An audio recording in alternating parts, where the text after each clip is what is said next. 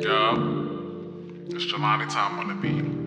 It's that new hush. Oh shit, it's a blunt in the studio. Stop. yeah, it's okay. Nah, you good, you good, good. It's, it makes character development. So, so, does being attracted to trans women make you a homosexual? Investigations on the highway, sabotage. Let's elaborate further on this. I feel that personally, when it comes to the nature of trans attraction, that it is beyond the scope in which men can possibly measure. Because, at least in the, the minds of men, because I would say, see, trans people, or even certain gay men who do not transition, exist on a certain spectrum of femininity that may attract the eyes of others. So, whether you're gay or straight, it's really a matter of ideology, you know? Because I find myself attracting men who have never been with another man, but that's because of some of the natural femininity that I exude and I try not to force myself. You know, I'm not really one of those gay men that want to be in everybody's face because I know the nature of men and who they can be, at least in its full masculine form.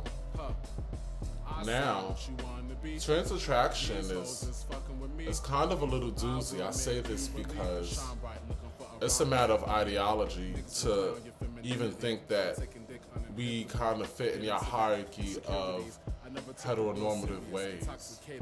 You know, because we're, we're so different, not only genetically, but also thought wise as well. So,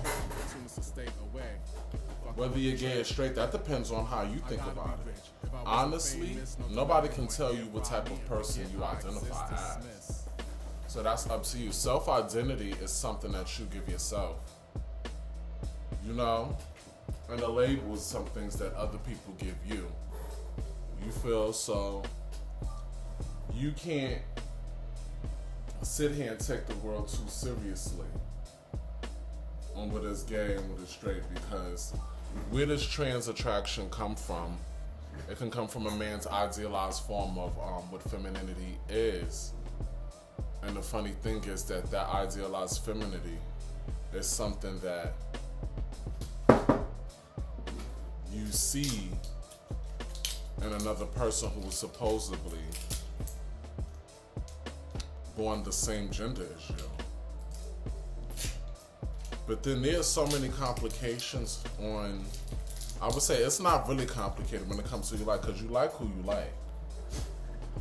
But it's more so complicated on the fact of how people choose to identify you based on things that are none of their business. So let's get down to the point. Does it really make you gay or straight? Truth be told, it doesn't make you neither. It's just you liking you. You can still be heterosexual per se, or you know, you know, you like, you know, uh, attraction to femininity isn't exclusive to women. I think men forget what their gaze is capable of. That you can be attracted to femininity from all genders. I don't worry. I tell you, I'm a man who believes that I die for you. And you can just let that rock out. And is that a part of acceptance? Is that a part of maybe bisexuality? Who knows? At least most of the trans chasers I've met that are like real trans women chasers, they usually be a little bit bisexual, but there are heterosexual men who like trans women. You know, so that's just that's a matter of ideology. I say it depends on your mindset and where you at, because you have to remember from the beginning of time, gay, black, white, straight, hermaphrodite. These are things that we made up to quantify something that may be unquantifiable. In the nature of the human zeitgeist and our reality and spectrum. So it's possible for a heterosexual man to like a trans woman, and it's possible for a homosexual man to like a trans woman. You get what I mean? Both are possible. So only you know. You can't. Uh, are you heterosexual? Yeah. Are you bi- Are you bisexual? Does it matter? That ain't even the main issue.